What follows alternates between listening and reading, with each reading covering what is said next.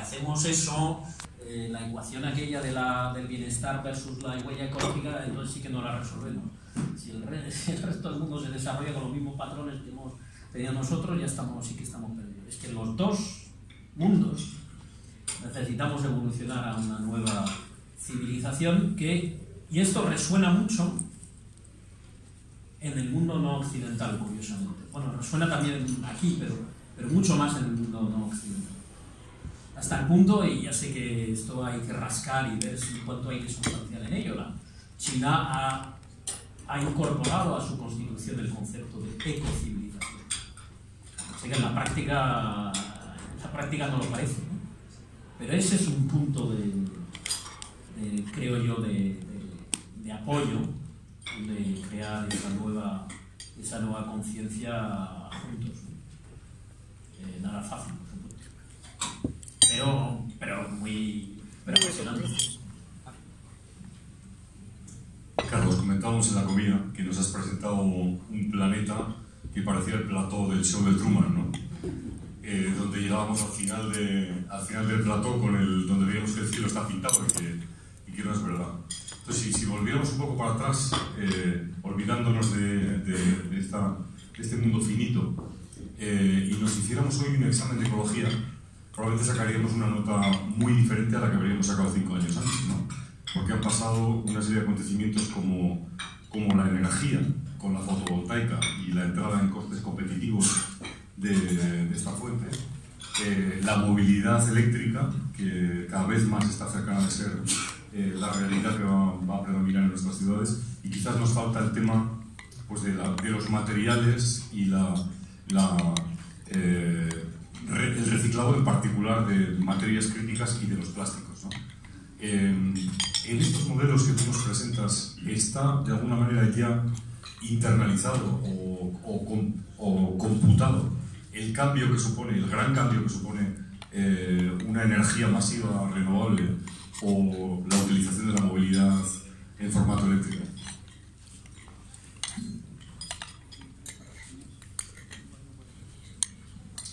A ver, no, quiero decir, no en, lo que os he presentado que se refiere a los hechos hasta ahora. Eh, uno de los mensajes fuertes, o quizás el mensaje más fuerte que creo que debemos transmitir, es que hay camino. Esto no, esto no se concluye ni con un de Truman ni con una llamada general al suicidio o a, la, o a volver a cavernas. No, no, no, no. Hay camino. Hay camino y hay escenarios. Acaba de publicarse otro informe del Club de Roma donde se presenta por cierto, uno de los autores era, fue uno de los autores del, informe original de los límites al crecimiento, donde se hace un análisis muy concreto de somos capaces de alcanzar los objetivos de desarrollo sostenible a la vez que cumplimos con los límites planetarios, con los planetary boundaries, con los límites de nuestro ecosistema. Y, de nuevo se trabaja con varios escenarios y hay eh, un escenario en el que esto sí se consigue y ahí se proponen una serie de políticas concretas eh, para alcanzarlo. Eh, todo, hay camino. Ese camino sin duda pasa por las cosas que has comentado, eh, yo diría más la reinvención de la movilidad y, en general del bienestar, pero, pero especialmente por el tema de las energías renovables. Pero, por ejemplo, en las energías renovables no estamos yendo suficientemente rápido. Eh, y cuando hablo de nueva civilización, como digamos visión que engloba lo demás, estamos comentando la comida, es decir, cambiar de metabolismo, cambiar de nuestras fuentes de energía de combustibles fósiles a energías renovables ya es un cambio de civilización porque eso lo va a cambiar todo. Eh, y, y, es verdad que hay noticias positivas en el sentido de que por distintos factores eh, ya el mercado hace que las energías renovables sean rentables, pero si uno mira a uno de nuestros colegas, Hugo Bardi, ha analizado este punto y su conclusión es que estamos invirtiendo las inversiones en energías renovables en el mundo en general están estancadas, crecieron y en el año 2015 o 2016 se quedaron ahí estancadas.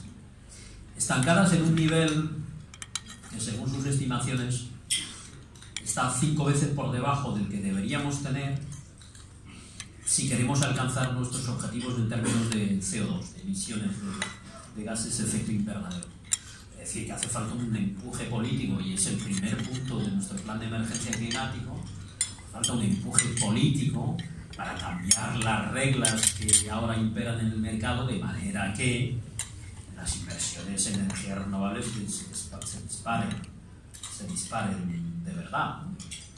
Eh, es decir,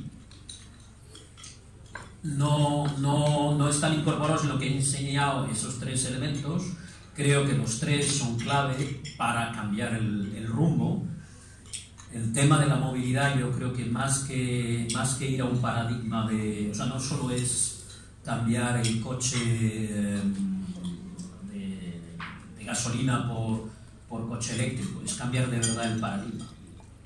Es decir, son ciudades, pero esto hay ejemplos muchísimos, ¿no? Y hay ciudades que han definido planes concretos de, oye, cero CO2 en tal año, ¿no? Copenhague, pero muchas otras.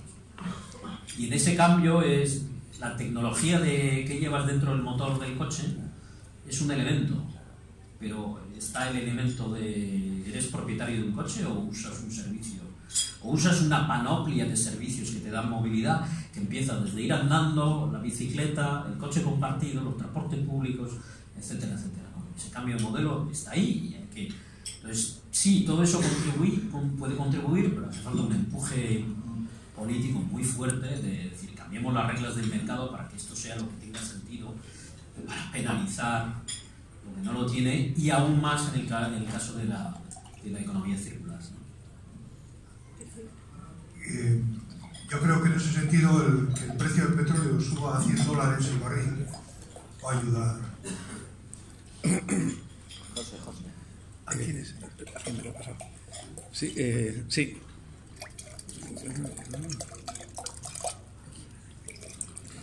Sí, bueno, ante todo, eh, gracias por la, por la ponencia, por el, la panorámica, por la reflexión que, que, comporta y que suscita distintas eh, cuestiones.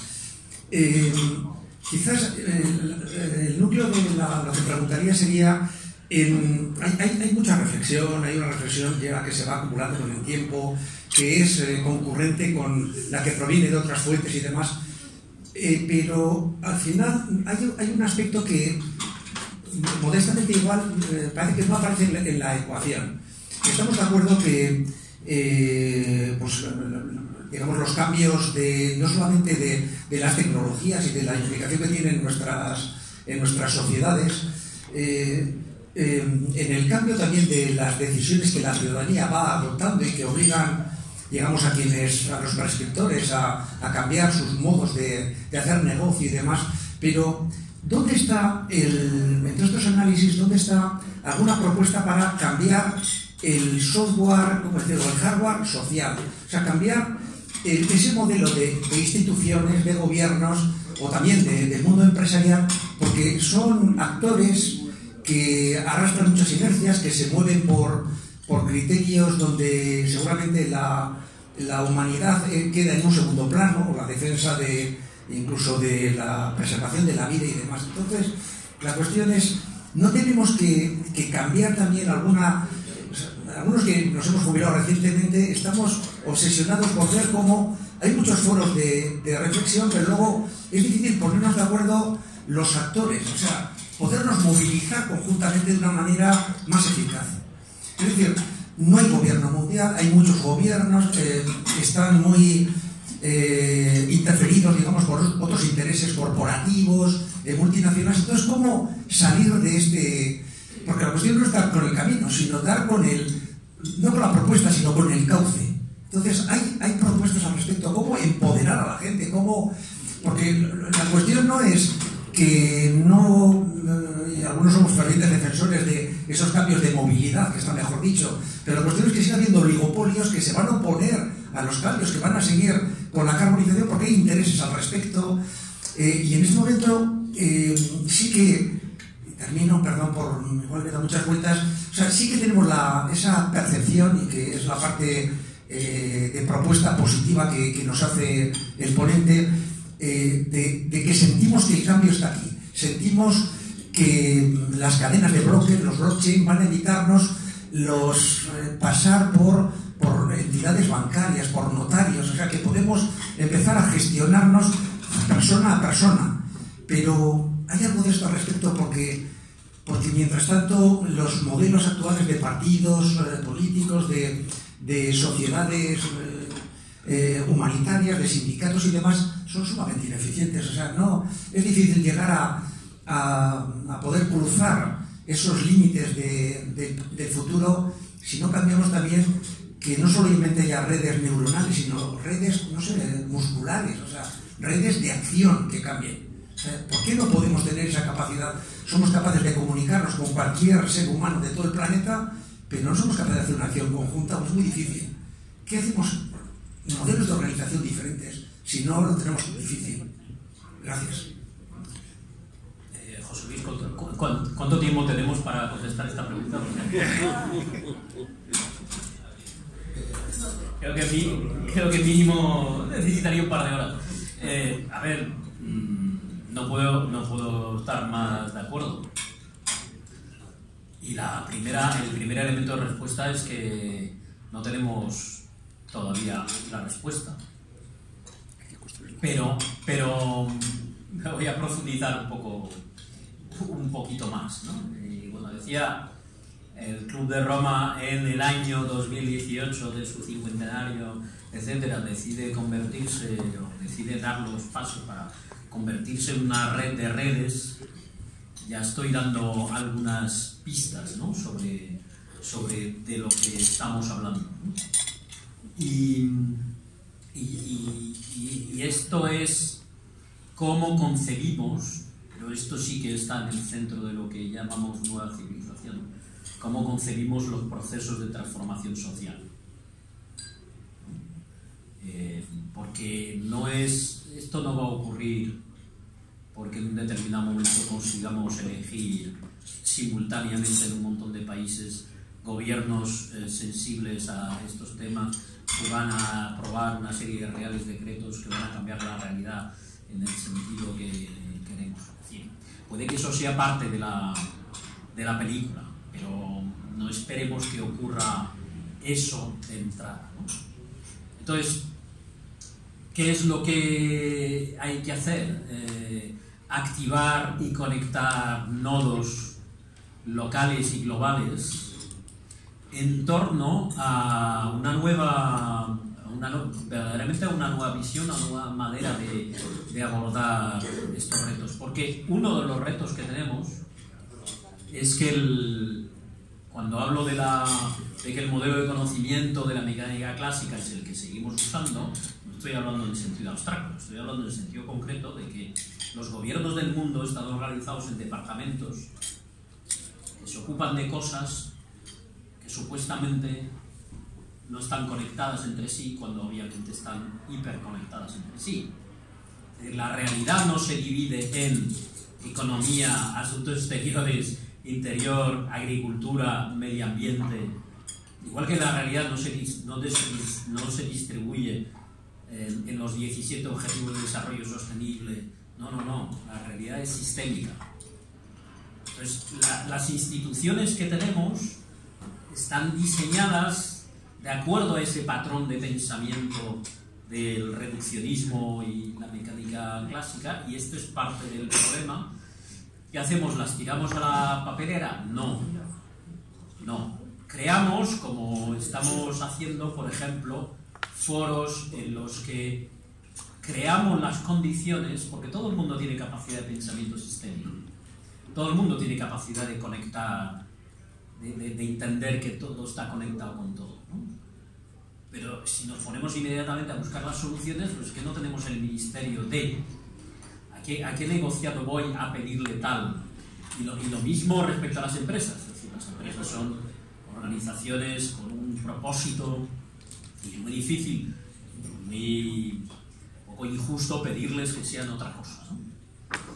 Pero si trabajamos con las personas y les abrimos las mentes sobre cómo los retos que vivimos están interconectados, y esto funciona. He participado con Nora Bateson, he participado en seminarios en los cuales no se trata de contarles, porque yo creo que ya no se trata de enseñarle a nadie nada. Se trata de crear las condiciones para que la gente piense por sí mismo y se active y, sea, y se comprometa.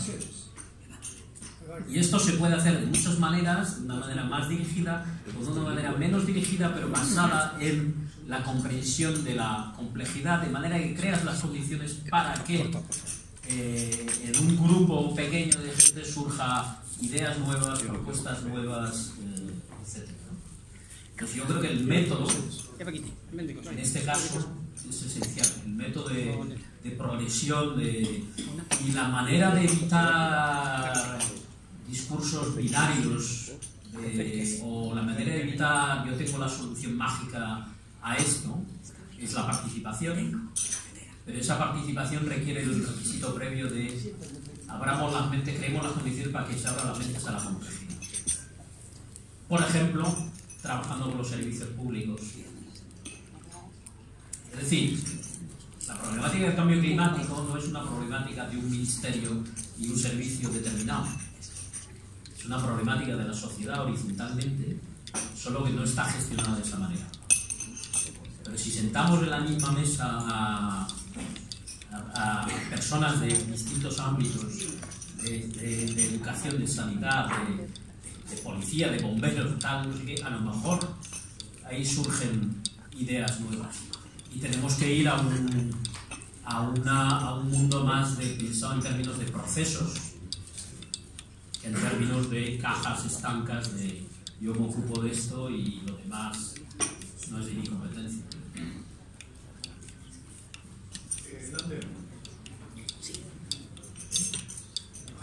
A ver, eh, a ver si consigo articular la, la pregunta que tenía. ¿eh? Eh, a ver, por un lado, realmente son dos preguntas.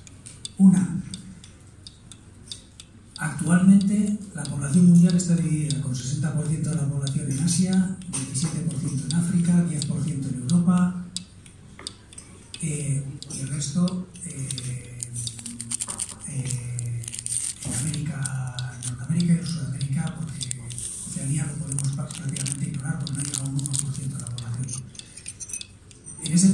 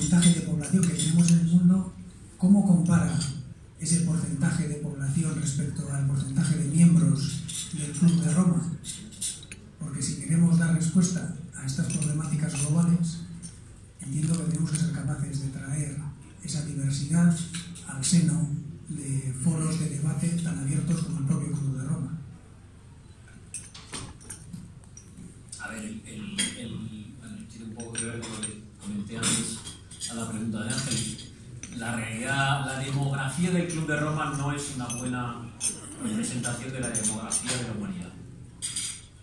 ¿No lo veis?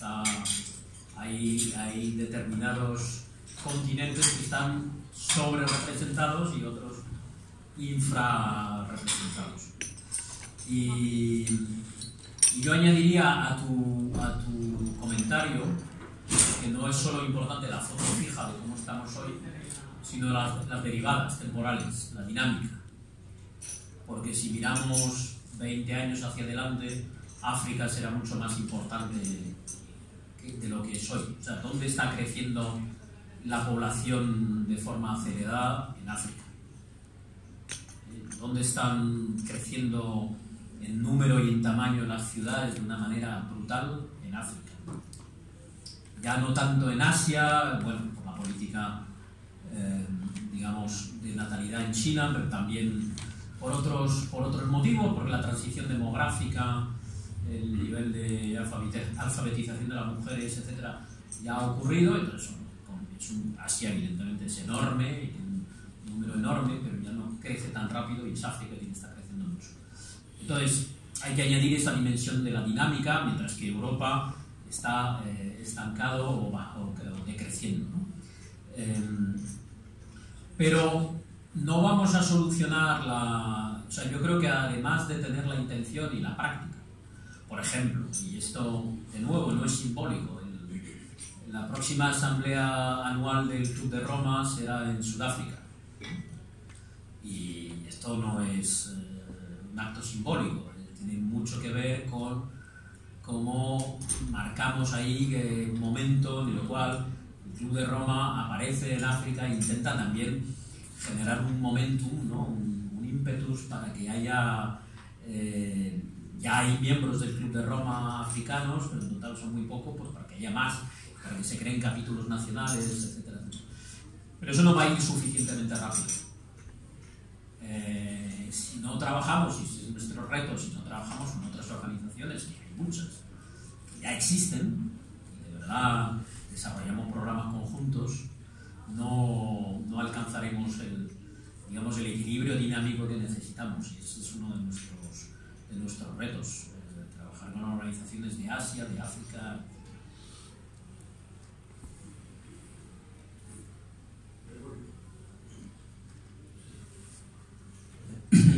Iba a hacer una pregunta muy simple.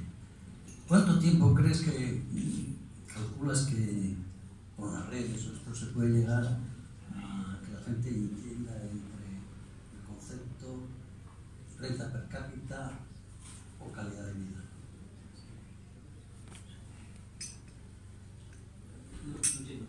Bien. Hablamos siempre de la renta per cápita.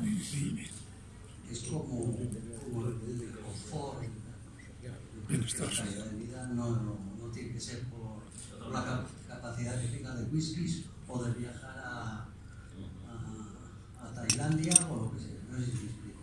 Y luego viene el otro concepto, mismo, el darnos cuenta que la digitalización, o vamos a decir, los bits, dan importancia a los bits y no a los átomos, porque los átomos cuestan mucho transportar. En cambio, los bits nos vienen a nosotros. Si queremos ver los mejores paisajes de África no es allí a... La, verdad es que el, transporte en este momento es el gran hándicap de la, economía mundial. Cuando verdaderamente con los se solucionar. Eso es complejo. Bueno, son varias, son varias preguntas en realidad y además las dos con, con sustancia, entonces vamos por partes. Bienestar versus renta per cápita. Yo creo que en el fondo, en el fondo todo el mundo sabe que no son la misma cosa. No hace falta convencer a nadie de esto. No, no, de, de verdad lo creo. O sea, si, si rascas lo, lo, suficiente, es verdad que estamos mundo consumista, de cultura consumista, etcétera, etcétera. Pero esa cultura consumista está... A ver, mi experiencia es muy específica de Occidente en general no puedo hablar por cuál es la percepción en, de nuevo en Asia, en China. En Occidente, el escepticismo sobre que esto del crecimiento de la renta per cápita trae la felicidad, yo creo que ya es muy alto. Eh, entre la población en general y hay un cambio cultural. Y hay un cambio cultural que se manifiesta, que quizás sea silencioso, pero que se manifiesta en cosas, lo hablábamos en la comida, en cosas como que en las jóvenes generaciones en Estados Unidos, Estados Unidos, el país del coche, el país en el cual la modernidad ha estado asociada con el coche, y mejor el coche grande que gaste mucha gasolina, esto ya se ha roto. no universalmente, pero en gran medida en las nuevas generaciones, esa asociación de la prosperidad con, con el coche ya está rota. Ya no les resulta tan eh, extraño pensar en otros modelos de movilidad. Es decir, ya la, la comprensión de que la calidad de vida igual va de otra cosa que no sea la renta per cápita o, el consumo de recursos materiales, ese cambio cultural hay que acelerarlo, pero ya, ya se ha iniciado. Y en la medida que en el mundo eh, rico tenemos las tensiones que tenemos, crecimiento de desigualdad, etc., yo creo que la percepción de que esto, que nos, esto de lo que hemos vivido durante un tiempo, tampoco un tiempo muy largo, de que renta per cápita nos da bienestar, ya no es así, ya no hay esta identidad, yo creo que esa percepción es muy general. Mucho más general de lo que pensamos, quiero decir. Digo que todo el mundo piense eso, pero esa percepción mucho más general de lo que pensamos. ¿Qué pasa? Que la gente no tiene, no hay referencia alternativa. No estamos proponiendo referencias alternativas. Desde las instituciones se sigue diciendo que lo importante es el crecimiento del PIB. Desde las instituciones el modelo y el discurso sigue siendo Curiosamente, y esto produce eh, los chalecos amarillos. Este divorcio entre, el modelo institucional de no, no, pero si el modelo que teníamos es el correcto, solo que se ha atascado el crecimiento un poquito, pero ahora lo rearrancamos. Tal.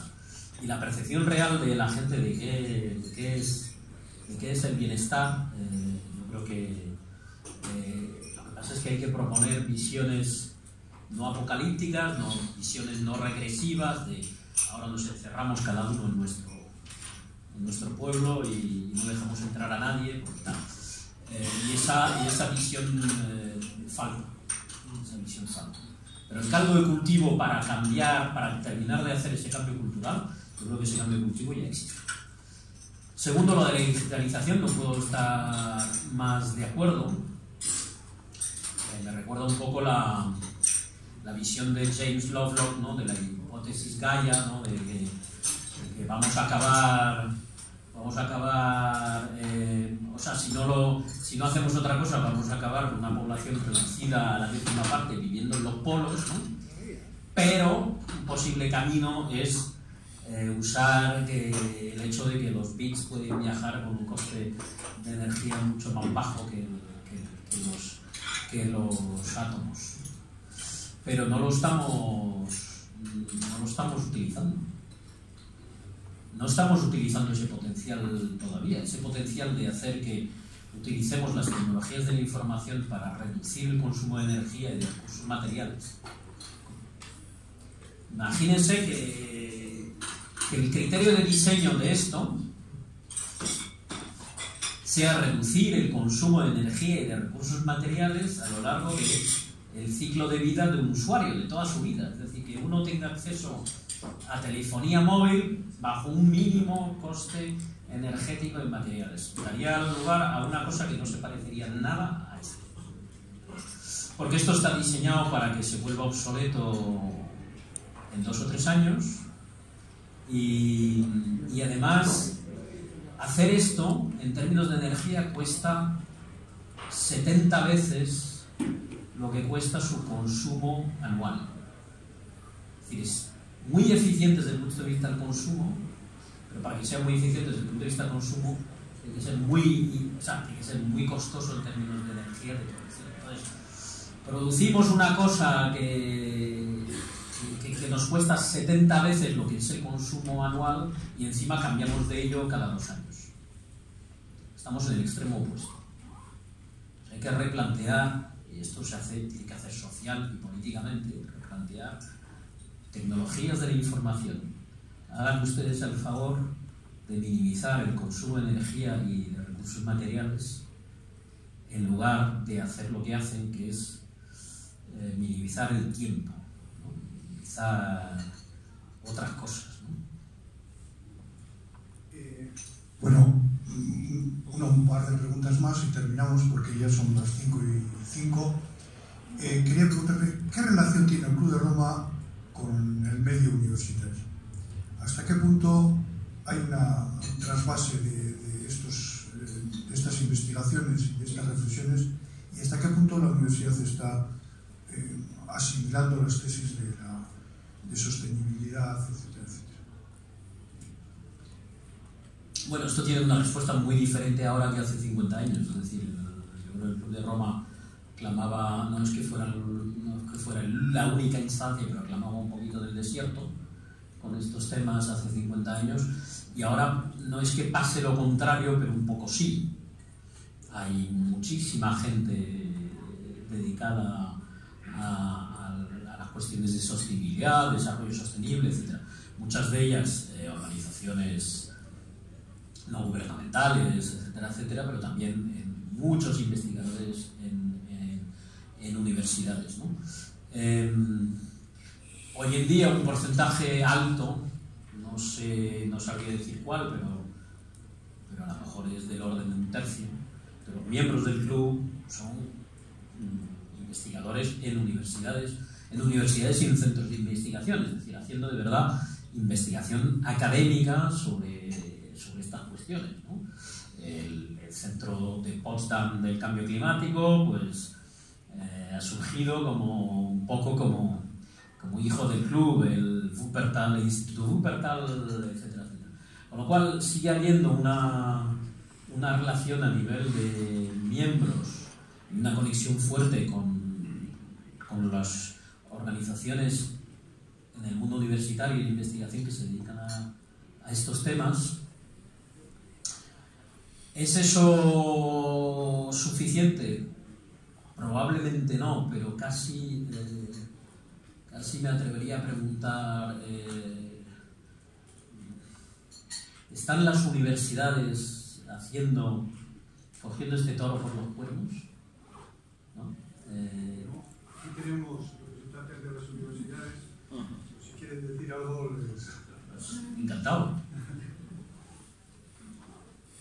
O sea, la, la, la, relación existe a nivel de conexiones individuales, no hay una relación a nivel más institucional, hay, eh, hay algunos partenariados, por ejemplo, con la World Academy of Arts and Science, eh, eh, que se dedica a, fundamentalmente al tema de educación y educación, y educación superior, ahí sí hay un partenariado, pero, pero mmm, no sé si decir paradójicamente, el campo de la educación, que parece un terreno natural para atacar eh, estos temas, no ha sido un campo de predilección de. O sea, el Club de Roma nunca se ha planteado, vamos a intentar influir en los programas educativos, en la forma en que se enseñan las universidades o las escuelas, salvo, y la excepción es interesante, por ejemplo, en Alemania hay un, hay un proyecto, un proyecto, una realidad que,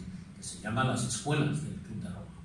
Son, para niveles preuniversitarios, una red de escuelas que tienen esa etiqueta del Club de Roma, donde los métodos pedagógicos y la preocupación por los temas de sostenibilidad tienen un rol central. Que en un futuro nuestras universidades, eh, a través del Club de Roma, están interesadas en contactar con estas realidades, pues, Encantado. te contaremos. La última pregunta, ¿eh? Vale. Sí, además, casi más que una pregunta es una petición de, de consejo, de orientación, ¿no? 50 años que hemos hecho, algo hemos trabajado, eh, estoy contento de la Junta con la que comparto trabajo. Y voy a contar una anécdota. No la he contado nunca, la voy a contar ahora. Yo recuerdo la primera vez que fui a pagar la cuota de ser miembro del club, porque entonces había que ir al banco. Había que ir al banco, había que hablar con el señor del frente, y en los pueblos normalmente los señores nos conocemos, y las señoras también. Y entonces me dijo, pero ¿cómo dices tú para esto del Club de Roma? Todavía existe, ¿eh?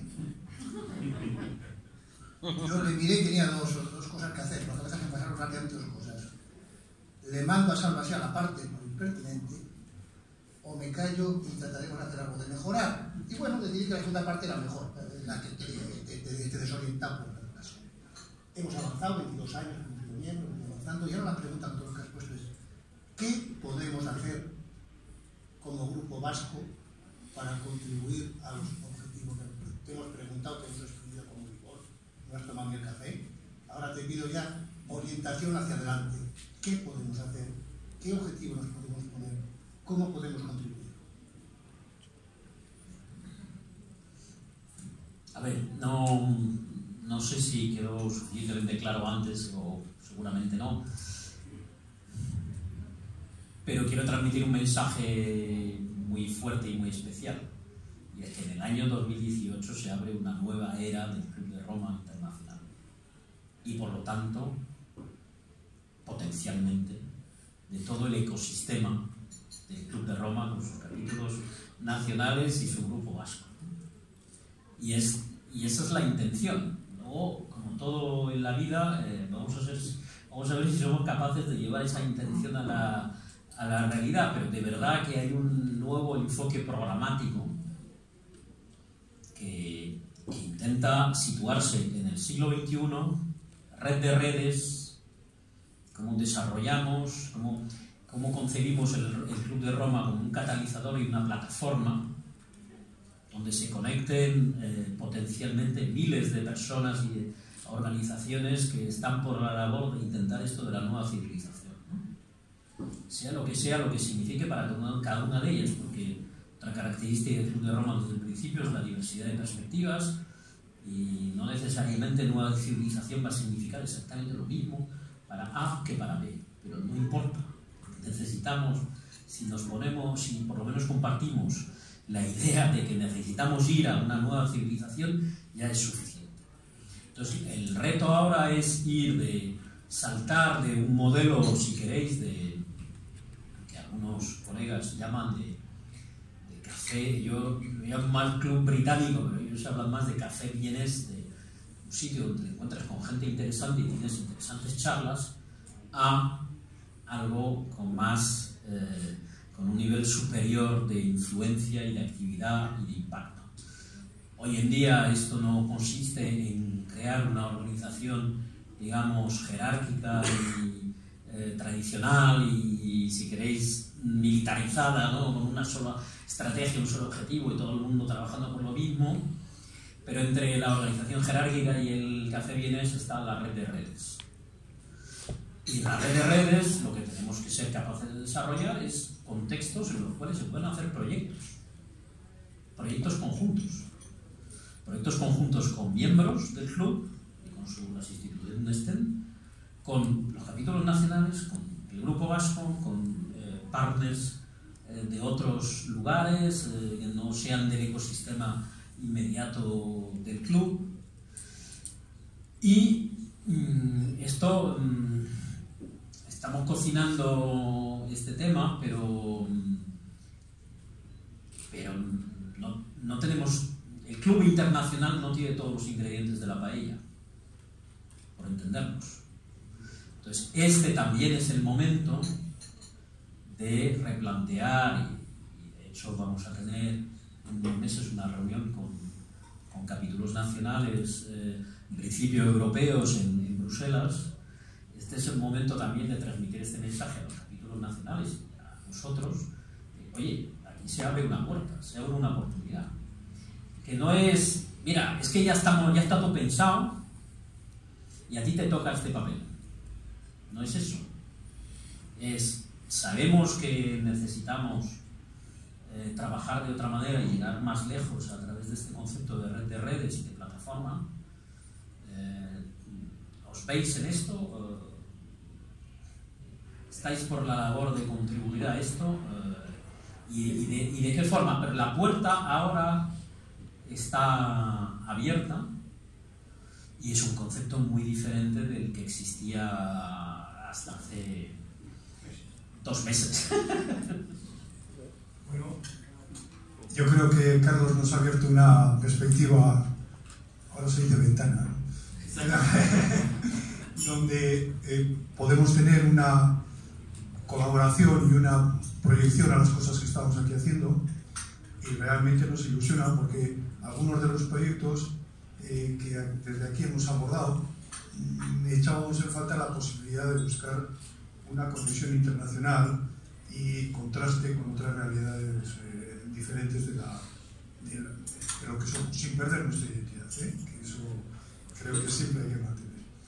Bueno, pues os agradezco vuestra presencia os felicito las Navidades y en el 2019 pues seguiremos un poco en esta línea.